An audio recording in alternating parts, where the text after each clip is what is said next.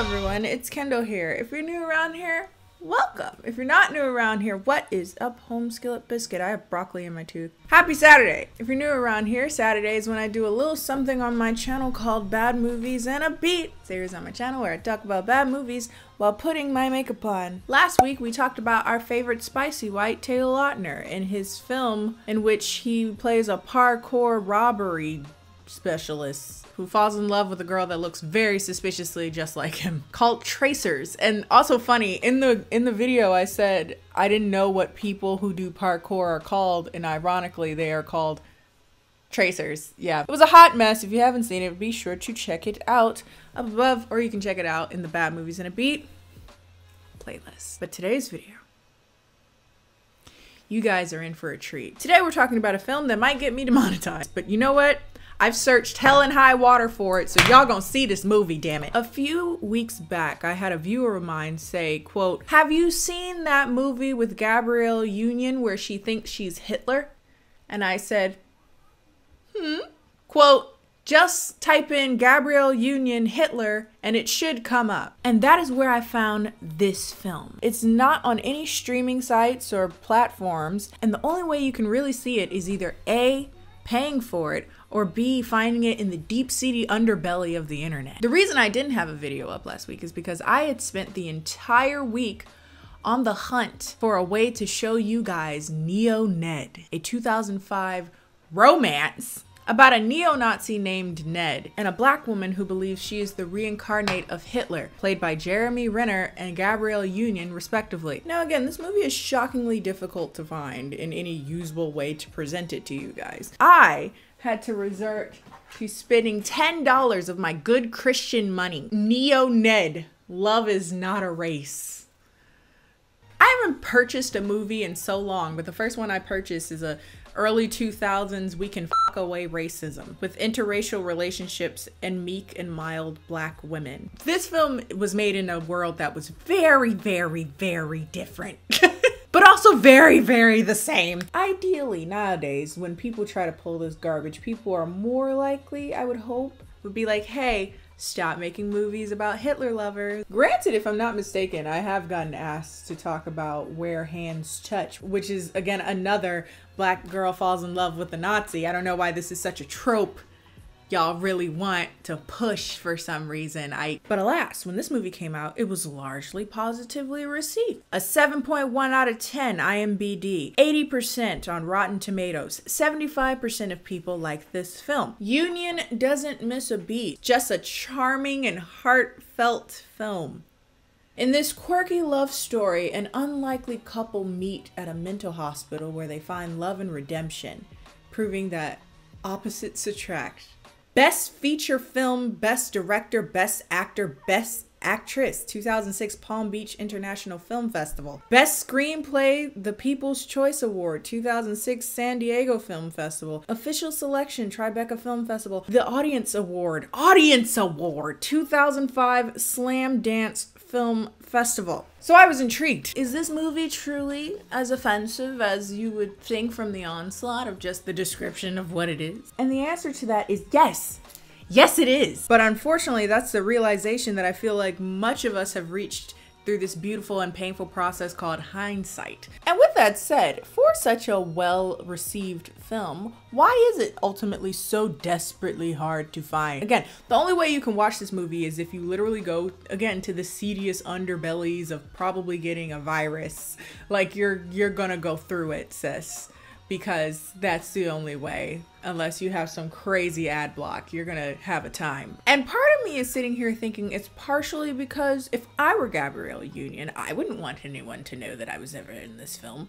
Um, I don't know much about Jeremy Renner. Apparently, when I brought it up, people said he's done some racist stuff in the past, so maybe this is more on brand than than I'm aware. As for Gabrielle Union, I, I would imagine this is a certainly a, a blemish on her on her acting resume. But with that said, that does not mean I'm not gonna drag you sis. Now I'm gonna read yet another description of the movie. And the reason why I'm reading so many is because I want you to really really taste and feel palpably how they were trying to sell this movie. Because before I even watched it, I said, okay, that sounds horrible. What are they gonna do to make it make sense? Right? Ned, Jeremy Renner, is a bigoted young man whose antisocial behavior lands him in a mental hospital. There, Ned, who believes that racial minorities are inferior, meets Rachel, Gabrielle Union, an African American patient who thinks Adolf Hitler has taken up residence within her. Ned spews racial slurs in her presence. But when it becomes clear that Rachel, though disturbed, isn't actually a bigot, they embark on a relationship that confounds everyone around them. How did you how did he get from calling you a hard R to like, oh my god, let's get this love train a choo chooing. Needless to say, this movie is incredibly triggering and problematic, but it's also in ways that you wouldn't even expect. There's so much here. But I think what's also incredibly triggering is that in some parts of the film, it actually feels like um, almost too much like real life. Like it sounds like, oh, this is preposterous. This would not happen in real life, but it does all the time. And it's really unfortunate and really confusing and really just sad. So let's get started. The movie begins with a grainy fade in as you see Rachel and Ned driving in broad daylight in a busted old car. Ned stops the car by the side of the road and he gets out. Now, obviously, we can tell that something's been going on because Rachel starts to panic. She's like, "No!" That I, I immediately noticed that this is not um, this is not Gabrielle Union's best acting work. Just take me home. I just want to go home. Please take me home. I'm listening. Ned, don't, don't. Listen to me! This is 2005, so a bit earlier in her career. Not her, uh. Well, no, 2005, she was already in a lot of stuff. Wait. No excuse, sis. you took the role, you better deliver. If you knew Ned, you'd say what was about to happen was his destiny. Before this film started, I had a sneaking suspicion that this was the direction they were going to go in. I mean, it is a Nazi romance, but they really are going with the he had a tough childhood. Like they really sitting here and using he had a rough upbringing as an excuse for neo-Nazism. And to have that story humanized by a black woman is just delicious. But yes, Ned had a tough upbringing. His father, with whom he was very, very close to, was imprisoned while he was a young boy. His mother is a bit of an egomaniac who's really focused on being famous. And as he got older, he began to act out as a means to get attention. Then he joined the Aryan Brotherhood. I know. Exactly. What? How did we get here? This. we went from he was acting out a little bit, got in fights as a child, now he's a part of the Aryan Brotherhood. Anyway, back to the present. We see Ned shoot at something on the floor off of camera. And then we're given the ever so deep question of how he ended up here with me. Now, as was discussed a bit in the accolades for the movie, the way in which they decide to attack this is by using absurdity, quirkiness, as a way to make this entire interaction stomachable. But we learned of how they met at the mental hospital. Ned was having a tantrum over toast and was ultimately forced to the ground and made to take a sedative. Soon thereafter, we have Rachel bust in through the door, screaming as well, and is also tackled to the floor and is administered drugs. But while she's having her tirade, she's screaming nein, and that's how you know she's Hitler. I would I would like to take a moment and say I am dreadfully sorry to Germans because there's anything German any in any way in American media, they're immediately going to Hitler. Like I, it's just I'm I've met some Germans they were pretty okay. The people I've met, like, they're not. A lot of them aren't really a fan of the history of Hitler. It's really embarrassing to them, actually. So, anywho. and two, what kind of establishment is this? Brought her in so unceremoniously. Soon thereafter, we hear one of the workers talk about how they heard that she believes that she's Hitler. Rachel believes that she's Hitler. I swear to God, she was barking out orders to her troops. And after overhearing this, Ned becomes intrigued in being all up in her business because that's one thing that racist white people do. As much as they hate black people, they always in some black person's business. Soon thereafter, Ned the neo Nazi introduces himself to Hitler and a black woman. And around this time, I realized we were about eight to ten minutes into the movie, and I have yet to hear a slur. Sticking some crazy Hitler woman on my floor. And what's next? Some Jew roommate?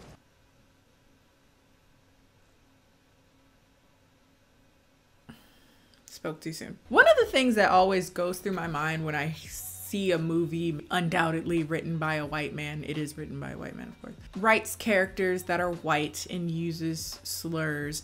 I can't help but sit there and imagine them in their little writer's cubicle as they sit there and feel like they've gotten away with something, really stuck it to PC culture. I have to write a character that will say the N word with impunity because he is racist. And a racist wouldn't be afraid to use the N word. Does it make you feel powerful, Tim? Does this allow you to live out your fantasy? But honestly, in all fairness, this is literally what white led activism was. Make love, not war, peace, bro. Like, he comes up to Rachel the next day, calls her the N word repeatedly, just to her face over and over and over again, and puts the cherry on top that he's, quote, killed in words like you. He tells her that the reason why he's been admitted to the mental hospital is because he and a group of his friends from the Brotherhood stumped a black man to death. But yes, he tells her that he's a member of the Aryan Brotherhood, and she says that she has Hitler residing within her. And for some reason, uh, this film really wants to make us believe that this is just banterous chatting, you know, there's nothing incredibly, incredibly awful and inappropriate about this at all. The next day, we hear Ned talk about how he was nearly killed when his foster family committed a group suicide, but he was able to escape because he had to pee. Keep in mind, we never come back to this story, and it's completely and utterly anecdotal. There's nothing we needed to know from this story. We don't learn more about why he is the way he is. We don't learn anything from this story. We still don't know how he ended up with Aryan Brotherhood, but we needed to have this story for some reason. Even the therapist is kind of like, well, if you're not going to tell us how this impacted you, then why, why why did you feel the need to share this story? Like, what did you feel when that happened? What were you feeling at the time, Ned? I remember getting a race car set. The caseworker gave me a loop-de-loop track. You must have felt something. Maybe he felt nothing. Maybe he was just happy he got a race car set. Is this supposed to be a spark? How she comes in as the sentimental and understanding mouthpiece. Actually, this leads me to a to a thing I've been mulling over since watching this movie or even thinking of the concept of this movie. I don't know a whole lot of black women, mentally ill or not, who are going to be comfortable with a white man screaming the N-word in their face over and over and over again. But beyond that, this movie is kind of implying that Rachel has risen above his bigotry despite you know, saying that she's a Hitler reincarnate. But she's risen above his bigotry and that she doesn't get angry or affected when he says the N word to her over and over and over again. Actually, the closest she came to even reprimanding him was something along the lines of, like, you really should stop saying that. Don't say it to my face. Wait till I walk away and then say it. Like a good white person should. Again, this was written by a white man, right? So this is a very specific way in which he wanted to represent a black character, a black woman to play part as the counter to the racist, bigoted, loud, obnoxious person. And they do so by making the black woman, quote unquote, rise above the bigotry. And I just hate it so much. It's given me a little bit of black respectability politics. Right? It's your job. You need to keep above it, you need to rise above it. You're not like other blacks. Really? You need to be a particular type of black person to calm and assuage the aggressive, tyrannical racists, us to reel them in and make them realize, hey, maybe I shouldn't be racist, and then them. Boom. That's how we end racism. And I say this being like sarcastic, but there is an element of truth kind of in that that I don't like to admit. But there are a lot of black women and girls who kind of fall into this trap of feeling like they have to be a particular type of black woman to be um, accepted, particularly if you were raised in a predominantly uh, white area. I can imagine this is like a big issue in a lot of ways. They want to be a respectable, a likable, a not like the other girls black girl, and it's it's just really sad and it's unfortunate. By proxy, they've let people say and do things around them in ways that degrade them and make them uncomfortable. Grow up and get out of that. It will make you gag. I would tell you. I've had moments where I'm like washing dishes. Then I have a memory of a microaggression that I let go and I just. but it's okay. We learn from our mistakes. And then suddenly, Ned is musing over what it'd be like to kiss lips. He paints her a picture of swastikas in art class and gives it to her, like a coy little boy. Is that kind of the comparison they're trying to make? Like, a little boy picking on this girl because he likes her, but just turn it up to 11. You know, is that it? Is that the vibe we're supposed to get? Because I'm a racist doesn't mean I'm not sensitive. white boys on TikTok be like. There's a lot of things I'm gonna miss on that app, but the normalized racism is not one of them. You want to have a war in order to keep blacks away from the whites, then sneak across the border and meet me for coffee. Or, or a movie or something. Conservative white men and interracial relationships be like? I think the most insulting thing of this movie are the moments of self awareness. Like, I feel like this was a very self aware moment. Nazis be like, racist white people be like, but at the same time, in no way really reprimands it. it is just like, yeah. It bees like that. And the black woman is ultimately somehow the background of a story about being the subject of racism. Like, somehow he's become the forefront, the hero, if you will, in this movie because he's a quirky Nazi who had a rough upbringing. Like, who cares? Why do we care? Why do we care? Why aren't we more interested in why and why a black woman of all people would be willing to put up with this foolishness? I think that's a more interesting story to be had. We never learn anything of Rachel's background other than she has a daughter and she was raped as a child. That's it. That's what we know. She's black, she was raped as a child, and she has a kid. How did she end up getting in a situation where she's humanizing the tale of a white supremacist with a newfound ebony fetish. Ned ends up getting kicked out of the mental hospital for troublemaking. They give him a ticket to send him back home to his mom, but he ends up with a little trickery being able to stay in the area. He comes to visit Rachel again while they're out on an outing at the zoo. By the way, he goes to the zoo in a swastika shirt, and even though this is 2005, I still feel like somebody would have at least giving him a stank face. Even in 2005, that that was not cool, but no one says anything. Did you come to the zoo to see me or the animal? Came to see you, Adolf. Just you. I don't know why, but I miss all your bullshit. It's because I'm charming, that's why. That's right, I forgot. You're charming.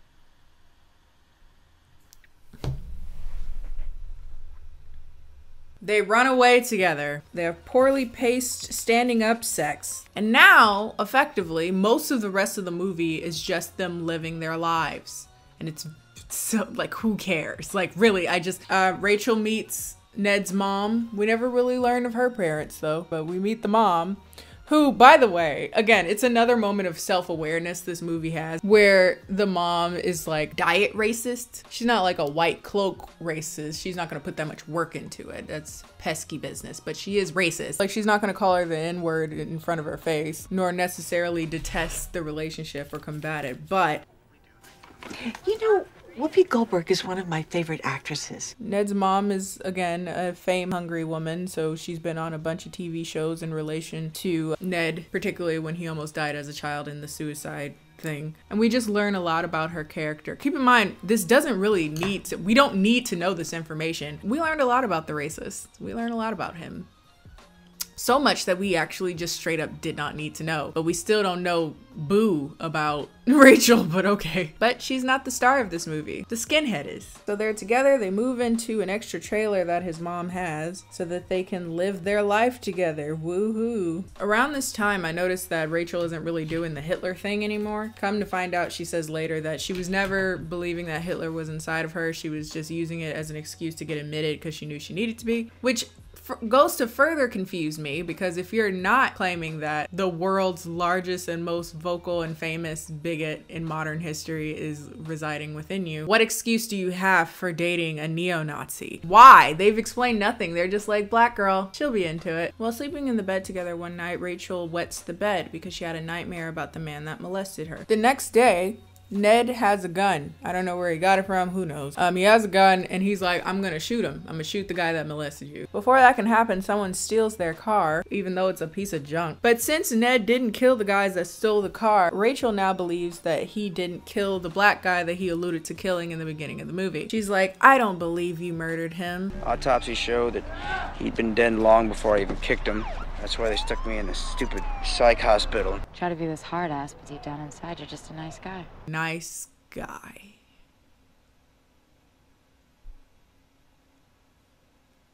Nice guys don't role play Nazi. He isn't edgy or misunderstood. He's a fing racist. And again, there's nothing more insulting that this is being co-signed by a black actress Gabrielle Union, no less. I know this must be such an embarrassing moment in life when she thinks back on it. I mean, I I get it. You had to make a check sometimes, but girl, well, I guess though nobody knew this movie existed until I brought it up. You got away with it, girl. It's fine. Soon thereafter, they find the car. It had broken down not too far away, and the robbers had just kind of left it there. There's a scene where he dramatically throws away his Nazi shirt, but then soon thereafter hangs out with all his Aryan Brotherhood friends. And if that isn't art representing life as well, I don't know what is. Ned runs into his old Aryan friends and they end up having a get together, at which Ned ends up getting in a physical altercation with one of the guys because they basically ridicule him for hanging out with a black woman. As you can imagine, they didn't use the word black woman, but there you go. Aww. The neo Nazi doesn't like other neo Nazis neo Naziing on his black girlfriend. That's love right there. But that love is not enough to keep him from having sex with a random white woman that came out of nowhere. Art representing life, man. The next morning, he comes home. Rachel's awake. She's also very aware that he had cheated on her. He uses some of the most eloquent verbiage ever used to defend himself in regards to his behavior the night prior. I wish to God I could take that back. I mean, I wish I could un her. You wish you could un. He cries and begs her not to leave and that wherever she goes, he'll come with her. He'll help her raise her daughter. It's like, dude, what? You remember you asked me to tell you a happy story. This is it. Or my happy story. I hate this so much. Is this supposed to be touching? Why are you running away? You cheated. What? The next day, Ned offers Rachel a ride back home. On the drive, he pulls over. Rachel starts to panic because she recognizes where it is. It's the workplace of the man that had molested her as a child. Rachel panics. She's like, Don't go inside. Don't do anything. I don't need you to do anything yada yada yada. I don't want this. I just want to go home. I just want to see my daughter. But Ned is like, nah. He goes in, gets in a tussle with the guy, and then Rachel shoots him. Stone cold dead. But Ned wants her to get away. He doesn't want her to get caught and go to jail, so he decides to shoot him a few times. He then tells Rachel to run off with his car. He's then arrested, able to live happily ever after, going to the same jail as his father. Rachel goes home and spends life with her daughter. And Ned's mom has the ability to go to another TV show in which she talks about the time that she spent with her son, the neo Nazi, who was dating a black woman that he met in a mental hospital. So I'm sure she had a fun time. And that, my friends, is the movie. Hate it. Hated every part of it with every fiber of my being. Honestly, I could sit here and talk about all the things that make me greatly uncomfortable about this movie. But if I want to have this video up by Saturday, I don't have the time to do that. So I'm gonna just hit you with some blanket statements really quick. That both apply to this movie and also in real life. One, just stop making movies that are love stories about Nazis. Black women come up a lot. I don't know why. or Jewish women. I'm sure Jewish, I'm sure Jewish is pretty popular. Popular, is that the word choice? Would- common, Ugh, both of which make me uncomfortable. Stop doing it. I don't know what is with this incessant need to humanize Nazis. There's so many people that deserve to be humanized. I don't think Nazis are on the top of that list, my guy. Maybe refugees, detainees, people getting forced hysterectomies. That did not need to rhyme. I didn't mean that to. But like, there's so many other people that deserve to be humanized, okay? Nazis aren't them. On a related note, too, stop making movies that make racism wholesome. Because that was just something that they never really discussed or honed in on. It just kind of became this thing that's like a backdrop. It's like, yeah, he's racist. Ah ha ha ha ha ha ha ha. Like, no, he's racist. Like, he's racist. He is racist. That should be enough. It's not, well, he's a little bit right. Like, he's racist. three. Am I on three? Whatever I'm on. Three stop using black women, particularly sex with black women, as like the tool to end racism. Again, as I was talking about before, it kind of feels like it puts the responsibility on black women to end the bigotry of people that decided to be bigots. Like, that's not our job. Stop making everything our job. It's not our job. You decide, you woke up on this side of the earth and said, you know what I'm gonna be? Racist. And also for all you weirdos that think that interracial relationships end racism, it doesn't. People can have sex with you and still be racist. They can have kids with you and still be racist, marry you and still be racist, completely and utterly integrate you into their lives and still be racist. Four, if you are a black girl or woman who is letting a non black person say some out of pocket you because it's banterous. Um, I hope y'all not letting people call you the hard R out there, but just in case, I just realized I didn't finish this thought. Basically, what I was gonna say is stop letting people talk to you out of pocket, especially if it has to do with like race. Like, that's not cool. You in these places and you want the affirmation and the validation of who? Racists? Doesn't sound like a fun time or worth the effort. Don't do it, sis. Also, on a similar token, stop asking people if they like black girls. Do you like black girls, senpai? Like, Stop looking for these weirdos validation all the damn time. And I get it. I get it. Black women are always kind of treated like crap, undervalidated in a lot of situations, and I completely get that. Do these people's validation matter? is is ultimately the question. And five, mental illness does not explain away racism or Nazism. Like sometimes people just be racist. Also, mental illness is not quirky. That's also a very weird mechanism they use to make it not as menacing. I mean, I guess is I guess that was the goal. I don't know. Again, he's going up to a black woman saying racial slurs to her, but okay.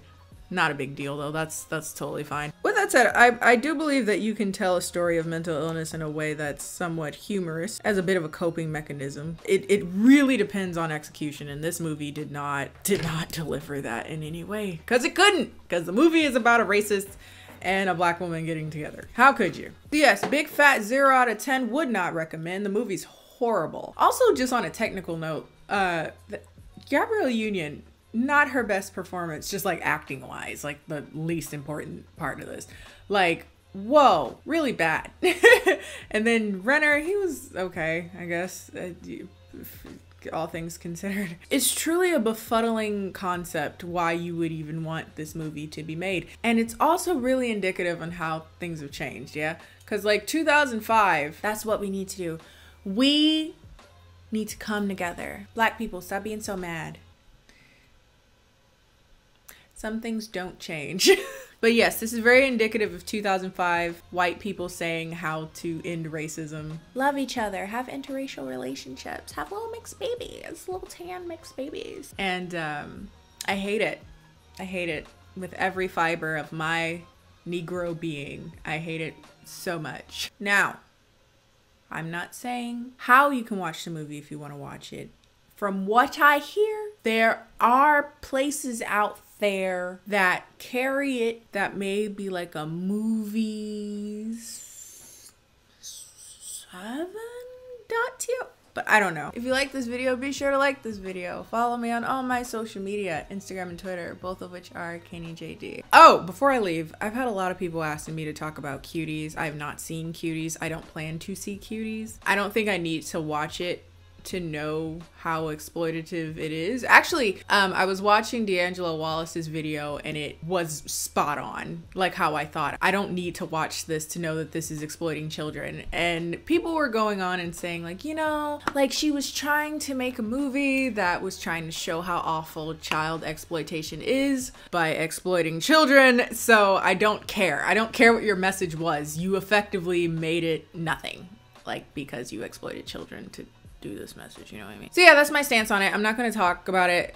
I don't want to watch it. I don't want to in any way be a part of it. People also wanted me to watch Mulan, and and there's a lot of controversy with that. And honestly, I didn't really want to watch it anyway, so those two I'm just not going to do. like I'm just not gonna do it. I'll see you guys next Tuesday. I'm gonna actually try to make a video this Tuesday. I'm always skipping it on accident. Not on accident. The days just whiz by and and then I'm like, oh my god, it's Tuesday. Again, don't forget to like, comment, and subscribe. Follow me on all my social media, Instagram and Twitter, and other places. You'll be surprised where you can find me, all of which are Kennie JD. And I'll see you guys next time. Bye.